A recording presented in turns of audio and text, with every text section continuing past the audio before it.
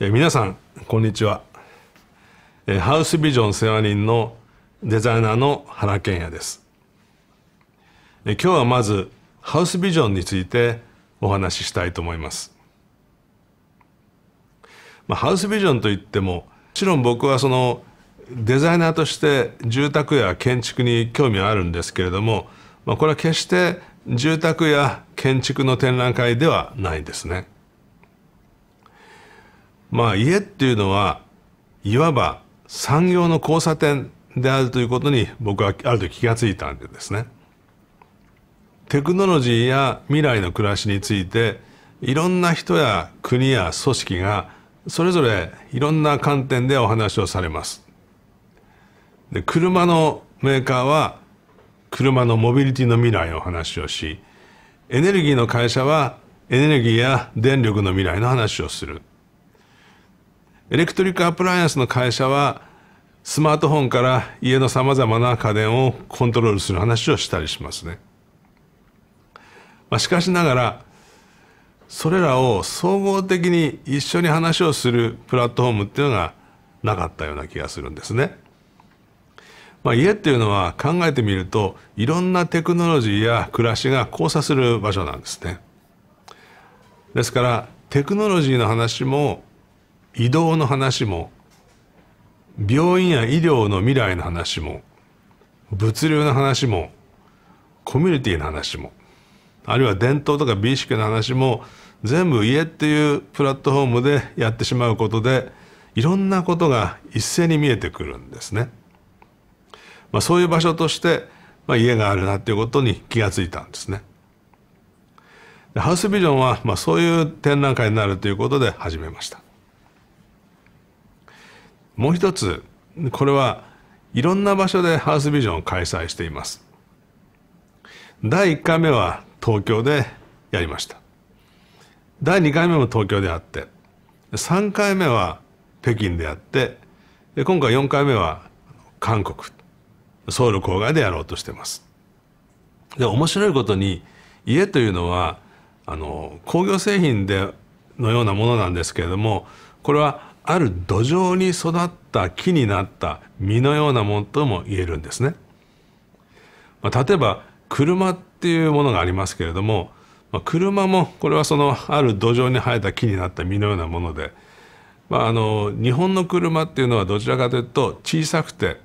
コンパクトで、まあ、非常にその燃費が良かったりして、まあ、環境性能も良かったりするんですけども、まあ、それは日本という土壌がですねまあこれは長い江戸時代を経て大衆社会っていうものつまり大衆文化っていうのが一つの文化や経済の土壌としてまあ成立してくるので、まあ、そこで育った木になった実としての車っていうのはやはりその土壌の質を反映しているわけなんですね。つつましくて燃費が良くて小さくて小回りが利いてというのは、まあ、そういう土壌の質を反映しているからだと思うんですね。まあ、一方でそのドイツの車は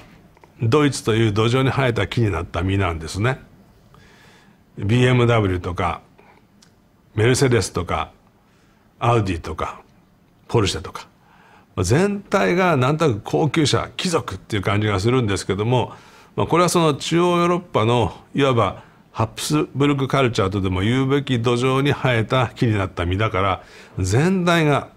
貴族っていう感じになるわけですね。まあ、これはそのハンドルを握った感触とかドアが閉まる音とかシートに身を持たせかけた時の感触とか全部貴族っていう感じがするわけですね。でこれはもう土壌が違うわけですね。まあ、そんなふうに考えると家っていうのもその土壌にこうして変わってくるわけですね。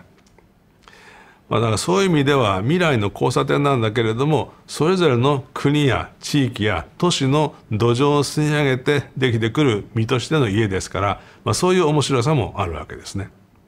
ですから、まあ、それぞれの国がどんな車を生産するかと同じように果たしてそれぞれの地域でどんな家を実らせることができるかっていうのはこれはまた面白い興味としてあるんじゃないかと思います。まあ、そういう意味では第1回目第2回目は東京という事情を反映しておりましたし第3回目はまあ北京という中国の新しい状況を反映していたと思いますまあ、今回第4回目これはあのソウル郊外の場所でありますけれどもここにも新しい韓国の事情というものが反映されてくるんじゃないかと思ってます。まあ、この絵はあのいわゆる産業の交差点としての家の可能性を示したものですね。まあ、先ほど家はいろんな産業の可能性と言いましたけれども、まあ、こんなふうにいろんなビジョンや可能性潜在性が交差する場所としての家というものがあります。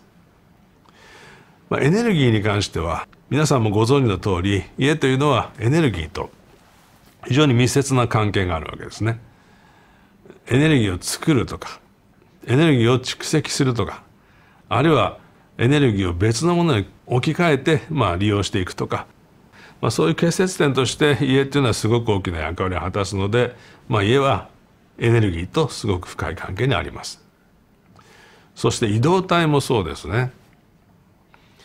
まあパーソナルモビリティとかっていうふうに言いますけれども、まあ、自動運転がまあ加速してくるとか4人乗りの車に乗って移動するんじゃなくてやっぱり一人一人が自在に移動する時代になるとかというふうになってくると家の形は全く違うものになるかもしれませんね。それから家電製品もどんどん形を変えてます。ま、これは家そのものが家電化してくるっていうこともありますしですからあるものは壁化する床化する天井化するというふうになっていく部分もありますし独立したまああの機能を持ったものはぽつりと壁や床から独立して、まあ、機器としてさらに発展していくと思うんですね。まあ、そういうふうにこう家電の形もまあ日々進化していってます。まあ、スマートフォンみたいなものがまあ、そういう間に立ってですねいろんな家電を調停する役割になってきてるわけですね。それからそういうものを扱う人々のリテラシーつまり生活のリテラシーっていうのは、まあ、ご飯を炊いたりとかお風呂を炊けたりとか、まあ、そういうこう能力が生活リテラシーだったりするんですけどもそういうその新しいアプライアンスをこう自在にコントロールしながら自分の銃というものを設計していくような、まあ、そういうその新しいリテラシーがやっぱり家を介在して生まれてくると思います。と同時に家というのは子供を育てるだけのものではなくそして家族が団らんするだけのものではなくて、まあ、ひょっとすると人生を仕上げていく自分の子供たちが巣立って夫婦2人に戻るとかあるいは最後は1人になるとかというふうな時間がこれから非常に長く、まあ、あのなってくるわけですけども最後の人生を仕上げていく時にどのような空間で過ごすかってまあ、そこも非常に大きなマーケットとして可能性があります。同時にそれぞれの個別文化の可能性をですねあるいはその面白さを家として表現したいっていう欲求は潜在的にみんな持ってると思うんですね。ですから韓国には韓流の家というものがあってそれがこう未来のテクノロジーと組み合わさるとどのような空間になってくるのかそういうこともとてもあの面白い可能性として残されているんじゃないかと思います。まあ、そういうことをいろいろ総合しながらですね展覧会をやっていきたいと思っております。まあ、原寸の家をエキシビションの形に作るのはやはりそこに相応のリアリティがあるからだと思うんですよね。まあ、あの住宅展示場に行くとなんとなくそんな大したことじゃない家でもちょっとときめくんですね。これは本当にそこに住むかもしれないっていう想像が原寸の家で触発されるからなんですね。ですからエキシビションというのはバーチャルの世界ではなくオンラインで見るものでもなくてわざわざ生身の体をそこに運んで見るべきものであって、まあ、それはその原寸の家であれば非常に大きな触発力があると思います。まあ、これがハウスビジョンを実際の家にして、まあ、転換していく理由です。まあ、少しご紹介していきたいと思います。第1回の東京展は2013年に開催しました。この時のテーマは新しい常識で家を作ろうというテーマだったんですね。まあ、当時の東京はですねどんどん一人暮らしが加速して、まあ、世帯の中ではダントツ一人暮らしが多いというふうな状況であったりとか、まあ、東京というのはどんどん新耐震基準つまりこう地震が震度6ぐらいの地震が来ても壊れないっていう基準でビルがどんどん作られ始めたのが1981年なんですけどもそういう物件が中古物件として出回り始めてむしろ新築のピカピカのマンションに住むよりもそういうこう中古物件を安く買ってリノベーションして自分ぴったりの暮らしを作っていく方がまあ暮らし手としてはよりクレバーなんではないかというそういう市場が持ち上がり始めたタイミングなんですね。ですから新しい住宅環境の中でどんな家ができるかでこの参加企業はですね決してその住宅メーカーではなかったですね。ホンダというふうな、まあ、その移動体を考える会社であったりとか蔦屋のようなその本屋さんであったりとかあるいは TOTO YKKAP のような、まあ、トイレとか窓とかとかの、まあ、住宅の装置を作る、まあ、企業であったりあるいは住友林業のように、まあ、木を育てて、まあ、住宅を木から育てるというような企業が参加してくれたりいろんな、まあ、企業が参加してくれました。まあ、私はあの元来グラフィックデザインがまあ自分の仕事の持ち場なので、まあ、こういう広大なスペースを借りてこの家の展覧会をしたりするのはちょっとどうかと思ったんですけども、まあ、これはそのやっぱりデザインの未来を考えていく時に、まあ、デザイナーの役割っていうのは単に何かをこうポスターを作ったりロゴを作ったりするだけじゃなくて、まあ、産業の可能性にいっぱいトスを上げていくようなことをすることがまあ役割かなと思っておりますので。産業の可能性をビジュアライズするという意味での、まあ、ビジュアライゼーションの一環というふうに考えてください。まあ、これはその時の会場図なんですけれども最初の東京展は7棟の家ができました。これは企業と建築家がコラボレーションして今まで見たことがない原寸大の家を作るというのがこの HOUSE VISION のルールなんですね。まあ、そんな形でこう展開していきました。これは全体の会場を俯瞰してみた。夜景ですね。で会場は隈研吾さんの設計です。これはあの10.5角っていう10.5四方のあの日本で一番ポピュラーなあの杉材ですね、まあ、これをそのままあの加工したり穴を開けたり切ったりしないで用いてですねおります、まあ、この会場はそのままあの終わったら木材に戻って再利用されていくっていう、まあ、そういうふうなこと。そして家は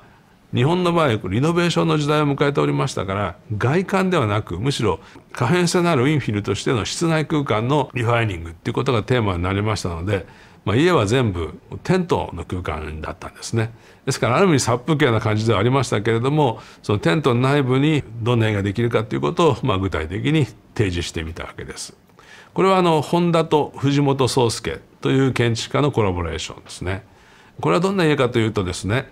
まあ、電気自動車の時代になると、まあ、電気の車っていうのは排ガスを、まあ、ガスを排出しませんから、まあ、割と生活の近くにまで来るっていう。まあ、エネルギー供給とかその電気アプライアンスとして、まあ、家のその機能の一部を、まあ、車が担うようになったりとかですねま、これはそのホンダが提唱する非常にその合理的なそのシステムでですね余った電気は熱に変えて給湯に使われていったりとかするような、まあ、全体のそのエネルギー効率エネルギーのその消費効率が非常にいいシステムとシステムを家に導入してですね節約した余った電気で、えー、電動の車椅子とかあるいは電動歩行アシストマシンとか、まあ、そういうものをこう使いながらあの老後も快適にその空間の家の空間の中で過ごせるようなそういう工夫を散りばめたという、まあ、移動とエネルギー効率の家っていうものをまあ作ったわけですね。まあ、このなんかキッチンの向こう側に電気自動車が見えてるなんか一見なんか車がこんなところにあるとなんかこうガソリンの匂いがしそうで怖いんですけどもそういう時代ではないということで、まあ、こういうそのユニ株と呼ばれてるものですけども電動のこのまあ電動のチェアというんですか、まあ、これに乗って体重移動すると非常に簡単にスムーズに移動ができるものですけども、まあ、こういうツールあるいはあの足腰がちょっと悪くなった人たちのためのあの歩行アシストマシンみたいなものをホンダは考えていて、まあ、こういうものを全体こう総合して、まあ、使い回していけるような空間当然その段差がないシームレスな床みたいなものがこう用意されていくわけですが、まあ、こんなようなものが走り回るという。まあ、これ2013年ですから、まあ、10年近く前の映像ですけれどもまああのなんとなくまだ実現されてないかも分かりませんけれどもあのこういうものがこう動き回る家っていうのが、まあ、当然そのうち出てくるんじゃないかと思います。でこれはあの無印良品とバンシゲルという建築家が、えー、コラボレーションしたものですけども家具の家と言います。で無印良品っていうのはもうスプーン1本からその収納そして棚の収納家の収納全体がこう結びつくような、まあ、非常に優秀なモデュールユニットを持ってるんですけどももう家具の家はもう家具に天井を支える壁と柱がないんですね。柱や壁がない代わりにその構造材が構造体が家具になってるですからあらゆるスペースに収納ができるっていう収納家具そのものが天井を支えるという状況になっているので、まあ、無駄がないっていう、まあ、そんなものですね。これがその少しアクロバティックな絵ですけどもこんなものができたりしました。まあ、ちょっと今日は時間がないので少しずつご紹介していきますけれども、えー、2016年のハウスビジョンの第2回目はやはり東京で開催いたしましたこの時のテーマは別れてつながる離れて集まるというテーマだったんですねどういうことかと言いますとこうますます家族っていうものが分解されていってこう究極には一人暮らしの世帯が圧倒的に多くなってしまったわけですね。で昔のようにおじいちゃんとおばあちゃんと孫たちが同じ屋根の下で2世帯3世代が一緒に過ごすということはもうほぼなくなってきた。しかしながら、まあ、インディビジュアルっていうのは個人という意味ですけども、まあ、これはこれ以上分解できないこれ以上分割できないっていうのがインディビジュアルということの意味合いなんですけども、まあ、分割できなくなった一人一人の世帯をしかしながらスマホがあるいは新しいネットワーク新しいコミュニケーションシステムが新しいコミュニティをバーチャルの空間の中に作り始めているのでひょっとすると分断された子は新しいつながりとして違うコミュニティを作り始めてるかもしれないということでどうやったら新しいつながりがこう芽生えてくるか。ですからインディビジュアルじゃなくてコディビジュアル。ディバイドされたものがもう一回個としてつながるっていうそういうことをですね。コーディビジュアルっていうのを、まあ、英語のテーマとして、まあ、このハウスビジョンを開催しました。2016年の東京の展覧会は12の、まあ、展示パビリオンができました。やはり会場は隈研吾さんによって、えー、構築されておりましてこの柱は住友林業が提供してくれるんですけども、まあ、こんな感じの空間になってます。はい、いくつか紹介しますが印象的だったのはヤマトホールディングスと柴田文江さんのコラボレーションで展開された冷蔵庫が外側から開く家。冷蔵庫が外側から開くなんか非常にそのセキュリティが悪い気もするんですけども最近はそのセキュアのに関する非常にこの進歩があの著しいですからまあフェイス認証なんかもよくできてますのでえー、まあ例えばクリーニング屋さんが外からこうクリーニングを取ってくれるとかあるいは薬が届くとか、まあ、八百屋さんから野菜が届くとかっていうものの配達が、まあ、きちんと個人認証ができれば、まあ、そういうふうなドアを使ってそのいろんなものが家を出入りするっていうことになりますね。まあ、これ非常に僕はあの可能性があると思います。まあ、ひょっとするとそのこのセンシングをしてですねどんなものがこのドアを通過したかっていうことをまあ、このプライバシーを管理しながらセンシングしてそれをビッグデータで解析してあげるとその家の中のアクティビティっていうのが外からでも分かりますよね。ですからある意味ではその老人ホームとかあるいは病院とかそういうものの機能が個人の住宅の中である程度まあケアできるっていうことになるんじゃないかなと思いますね。まあ、こういうそのここで企業として参加したヤマトホールディングスはまあ、大体日本全国津々浦々沖縄から北海道まで大体徒歩5分圏から10分圏に1人人の配置が終わってるんですね。これは非常に大きなことで物流のインフラの最後のワンマイルは人でつないでいくっていうネットワークが、まあ、日本列島の中で完成してしまっておりました。ですからもしかして冷蔵庫が外側から開くっていうその人間の出入り口のドア別のところにもう一つ別のドアを作ることができるとまあ、それは全くその社会の構造や物流のシステムやサービスの内容を変容させてしまう可能性があるわけですね。まあ、こういうことを、まあ、ハウスビジョンでやりました。これはもうもはや住宅とか、まあ、建築の話だけではなくてその医療介護の問題とか社会全体のサポートの問題につながってくるわけで、まあ、家をちょっと改造するだけでそういう問題がこう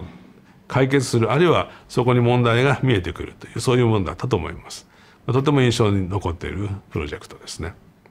それから賃貸住宅タワー、大東建託という会社と藤本壮介のコラボレーションですけれどもこれはその個人のスペースをできるだけ小さくして許容部をできるだけ大きくして、まあ、個人のスペースはこれぐらい小さいんですけども代わりにその、まあ、キッチンを共同で広く使うとか、まあ、広いお風呂が共同で使えるとか、まあ、そういうその、まあ、アトリエとかライブラリーとかそういうものが充実していたりとか、まあ、共用空間の、まあ、グリーンとかっていうのはそういうの手入れが好きなおばあちゃんがやってくれるとか、まあ、そういうその個のスペースを小さくしてシェアリングスペースを最大化するようなそういう状況の在り方っていうものを、まあ、提案したりしていますね。これがあの東京店それから、まあ、それぞれ12のパビリオンを紹介すればいいんですけどもこれまた別の機会でお話をしたいと思います。で2018年には北京をやりました。北京はまさに新重力というタイトルが示す通り、まあ、東京やおそらくソウルなどとは全く違う環境にあると思いますね。やっぱり e コマースが非常に進化していて、まあ、まさにハイテクノロジーが大手を振って歩いているというか、まあ、そういうふうなあのある部分ではテクノロジーの進化が非常にそのあの極端に肥大化しているというまあ、一方でその若者が都市に出てきても物価が非常に高いので、まあ、十分な豊かな住居空間は手に入らないでみんななかなか厳しい住居環境に住んでいるというふうなそのいわゆるこう進歩の矛盾と現実というものが非常に入り混じりながら、まあ、発展しているというそういう状況だったわけですね。でこれはあの鳥の巣というオリンピックの競技場の南側の広場で展開したわけですけれどもこんなものができました。これはハイアールという会社と超英和という中国の建築家のコラボレーションですけれども、まあ、こう軽量コンクリートで、まあ、こういうふうな面白い構造体ユニットでできてるんですけれどもこの家の特徴は内側に中庭がある。で中庭がガラスの空間で仕切られてるんですけども、まあ、これは開閉すると同時にガラスの空間がスーッとどっかいなくなってですね庭がオープンのまま部屋とつながってくるというそういう構造を持ってるわけですね。でまあ、これはもうあのハイアールですから、まあ、家電に関してはハイテクのものがこう装着されていて、まあ、特にそのつまみとかレバーとかそういうものがむき出しになってなくて、まあ、非常にスムースに調理器具が起動するということがまあ想定されています。で中庭の中にはあの、まあ、開かれた庭の中にはドローンのポートがあってですね。あの、まあ、外側のその天井の中から外から何か物を持って入ってくるっていうか、まあ、ドローンっていうのがまた別の機能として家をあの家の機能を新しく刷新していくようなことを、まあ、そうが想定されておりましたのでオープンな空間と、まあ、どのように付き合うかっていうことがこの新しい中国スタイルの家として提示されているわけですね。はい、それから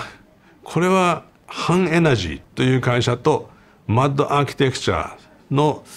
チームがこうコラボレーションして作ったものなんですけれどもこれはあの太陽光発電のパネルをですね非常に性能にいい太陽光発電のパネルをえ太陽の角度に合うようにデリケートに配置して作ったオープン空間半オープン空間なんですね。でこれはそのこのガラスのこう壁面があるんですけども一部はもう非常にこうオープンに開口していてですね、まあ、中に中がシースルーに見えるだけじゃなくて隙間もいっぱいあるんですね。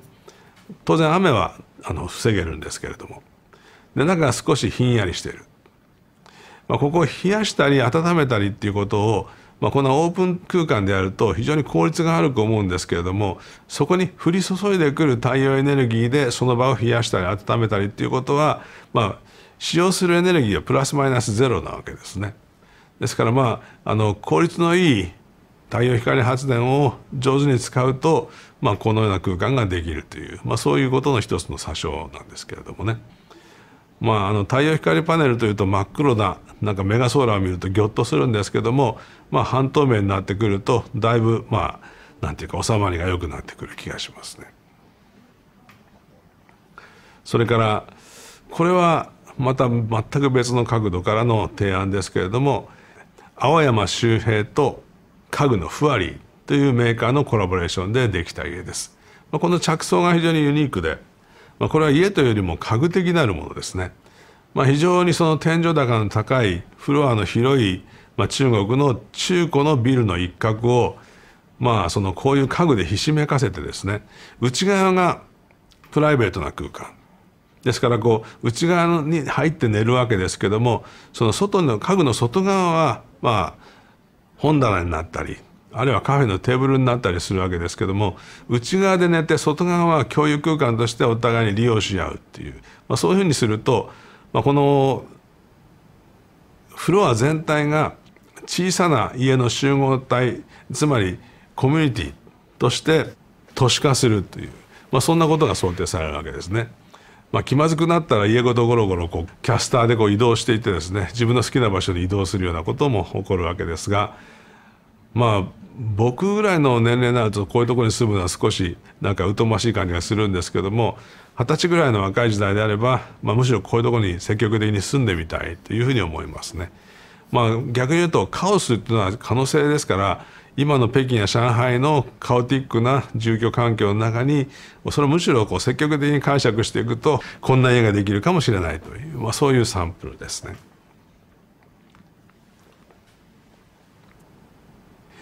まあこういうものをあの次々とたくさん作ってきております。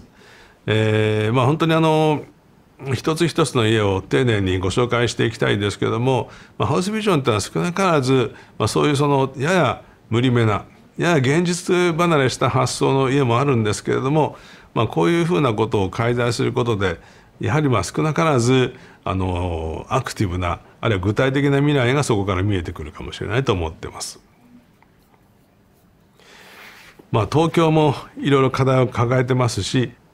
北京もいろいろ問題を抱えていますけれども、まあ、課題や問題というのはまさにこう可能性そのものですから、まあ、そこに新しい家の形をこう寄り添わせてみることで、まあ、非常にビビッドな、まあ、面白さとかあるいはその可能性が立ち上がってくるというこれは単にこう目覚ましい現代建築を作るということとは少し意味が違いますね。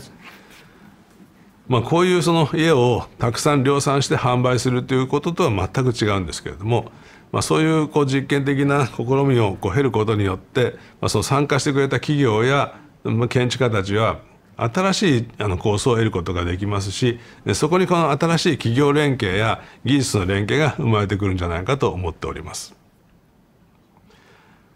まあ、そういうふうな可能性の塊としてハウスビジョンを見ていただければ嬉しいと思います。まあ、これは第1回目を立ち上げるのはすごく大変でした。まあ、これはそのグラフィックデザイナーがその家の展覧会をやりましょうということで、まあ、これはその経済産業省から依頼されたわけでも国土交通省がまあお金出してくれるわけでもないので、まあ、一つ一つのクリエイターやまあ参加企業と話をしながら、まあ、こういう展覧会を作っていきましょうということをお話をしていかなくてはいけなかったんですけれども、まあ、そういうことを理解してくださる方が、まあ、多々いたということで、まあ、この展覧会が動き始めたわけですね。で北京でやった後にまたそれがこうソウルに転移して、まあ、そこでこう動き始めたっていうこともとても面白いと思います。やはりまあ今はある意味ではアジアから新しい建築や住宅の情報が発信されていく時代だと思います。えー、まあル・コルビジェル・コルビジェが素晴らしい建築を作りミス・ファンデル・ローエが鉄とガラスで、まあ、摩天楼の素晴らしい可能性を示してくれたわけですけれども逆にその鉄とガラスで空間を閉じ込めてしまうのではなくてむしろこう開放的なこう外と内とを融通していくような全く新しい空間感覚を持ったアジアがそろそろ世界に全く新しい住まい方やテクノロジーと伝統を融合させてこれまでなかったようなこう生活文化っていうものをこう提言していくような時代になっていくんじゃないかと思いますね。まあ、そういうことの先駆けとしてまあ、このプロジェクトがこう機能してくれることを期待したいと思います。どうかハウスビジョンにご期待いただいてぜひともこの会場に足を運びいただいて、えー、まあ皆さんの未来をそこに見出していただけたらと思います。それでは僕のプレゼンテーションはこれで終わります。ご清聴ありがとうございました。